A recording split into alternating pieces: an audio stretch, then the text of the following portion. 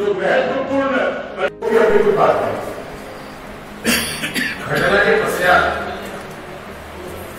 माननीय मुख्यमंत्री जी का सार्वजनिक बयान है हम सारे घटनाक्रम की सारी क्लीनिंग चेक करेंगे और जो भी घटना में शामिल होगा, उसके खिलाफ अपराध लाया जाएगा हम ये मांग करते हैं कि आपने पहले हिंदू समाज के उनसठ लोगों के खिलाफ कार्रवाई की और बाद में संतोष पांडे जी के साथ चौदह लोगों के खिलाफ आपने और कार्रवाई ये चौदह लोग और उनसठ लोग, जिनके खिलाफ धारा पड़ने का कार्य मनमोहन जी ने किया है, इनके जो भी फुटेज है इस रूप में इस दंगा